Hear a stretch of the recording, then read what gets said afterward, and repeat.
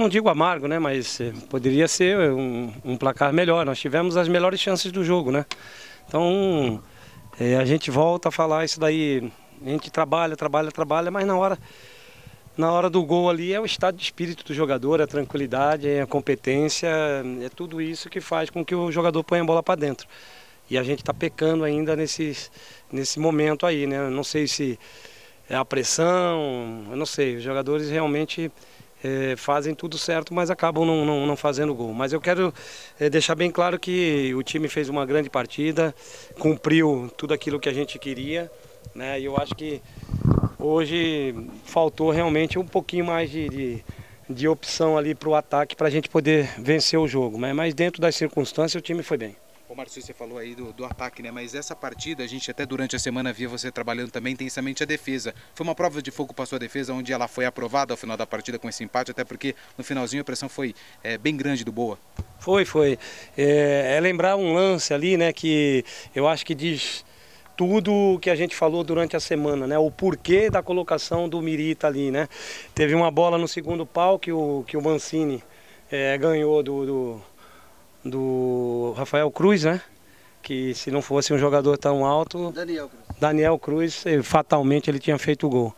E aí ele conseguiu neutralizar, a gente colocou o Mancini em cima desse jogador e ele foi muito bem na partida, neutralizou e quando teve condição foi pro ataque. Eu acho que eles estão de parabéns. Fizemos uma partida inteligente.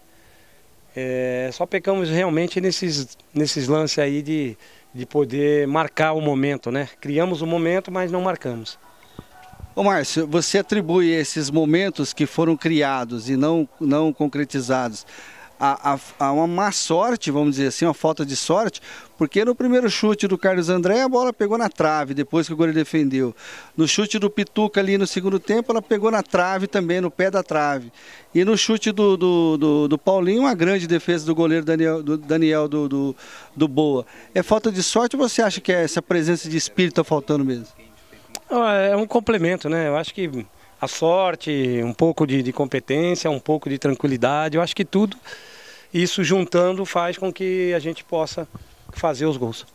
Ô Márcio, em relação a dois jogadores, eu queria perguntar para você, que na minha opinião foram destaque durante a transmissão, Diego Pituca, que criou oportunidades, defendeu muito bem, e o Rodrigo Tizen, que tinha uma função nesse jogo, anular o Cho, e ele não, praticamente não pegou na bola, a não ser na falta, né? Você passou e eles com êxito é, fizeram aí o que foi passado, né?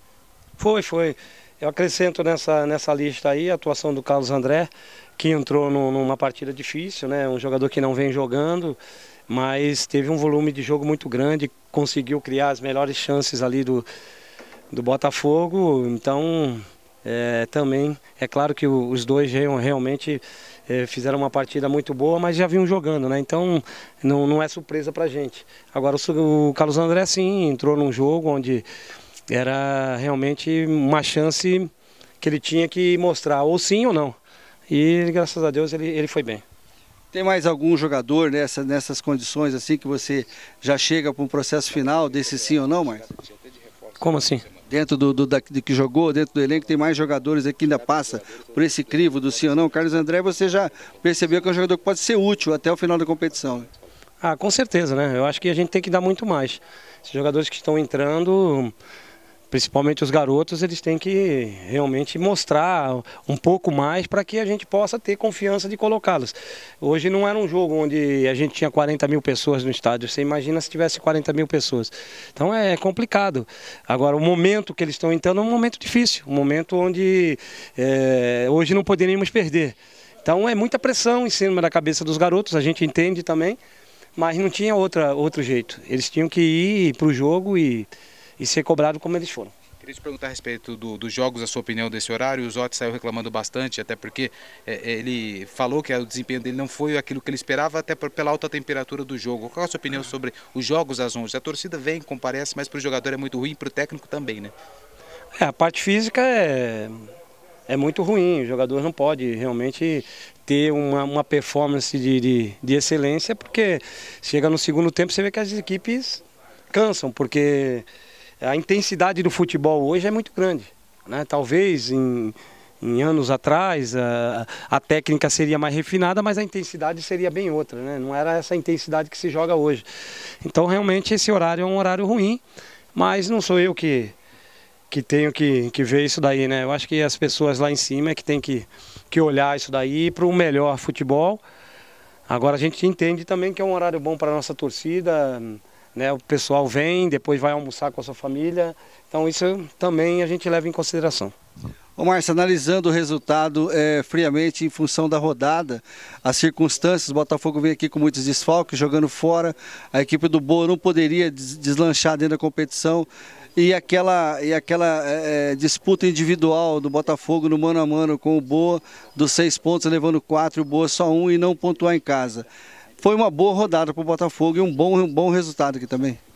Foi dentro da, das circunstâncias que foi o jogo, né? É, hoje até me passaram ali que o, o Dorival, é, no jogo contra o, América, que o Santos foi, foi derrotado, reclamou, né? Ah, perdemos dois jogadores, né? Então é difícil, né? Perder dois jogadores já é difícil. Você imagina perder sete do jeito que a gente perdeu. Relação a reforços, você, a gente não conversou sobre a chegada do Leleco, parece que a diretoria semana que vem já pode anunciar até mais duas contratações. Como é que você está vendo essa movimentação da diretoria para te dar ferramentas no decorrer dessa Série C? É deixar bem claro para o nosso torcedor né, que a nossa diretoria está fazendo todos os esforços para que a gente possa trazer jogador de qualidade para o Botafogo. A gente gostaria de trazer até um nível acima desses mas é, é, é, muito difícil hoje o futebol. Esses jogadores custam muito caro. Então nós não temos esse recurso no momento. Né? Então nós temos que ir no conhecimento, falando com um, com outro, às vezes trazendo um jogador que tem uma qualidade. É, eu cito o exemplo do Zotti. O Zotti veio com um salário muito abaixo do que ele já ganhava no Vila. Mas ele veio pela amizade, pela, pela condição que a gente tem e o conhecimento que tem desse jogador, por tudo que a gente fez junto né, dentro do Vila. Então é dessa forma que a gente tem, vai tentando. O presidente também é, liga para um amigo dele, pô, me ajuda aqui para trazer um jogador melhor, de uma qualidade melhor. Mas a gente é, queria que o nosso torcedor entendesse que hoje não é fácil trazer esse jogador. A gente está tentando de, todas, de todos os jeitos. A gente vai conseguir, até pelo conhecimento que, que a nossa diretoria tem, pela, pela nossa comissão que tem, modéstia à parte, tem bastante conhecimento dentro do futebol a gente espera que a gente possa conseguir um jogador assim de um nível acima do campeonato. Só para fechar com você, diante disso daí também, é, até pelo número de desfalques que você citou há pouco, o elenco do Botafogo também vem, vem te atendendo, né, Márcio? Não, com certeza. Os jogadores estão se dando, se doando, fazendo o máximo. Né? A gente entende que é um momento difícil. E mais uma vez eu falo, é, você perder sete jogadores de uma equipe é, é, o, é a tua equipe toda, não tem conjunto. Né? Então você tem que trabalhar durante a semana ali, é, mexer algumas peças até fora de posição para que você possa acrescentar, às vezes uma altura, às vezes uma velocidade, às vezes uma marcação, né? para que você possa no todo não sentir tanto, mas é, é doído, sete jogadores é muita coisa.